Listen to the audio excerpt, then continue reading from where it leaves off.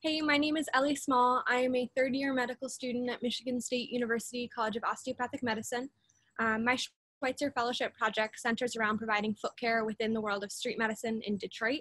And my motivations for this project were based on both feedback from individuals experiencing homelessness and my personal experiences and observations within street medicine, both as a leader and a volunteer.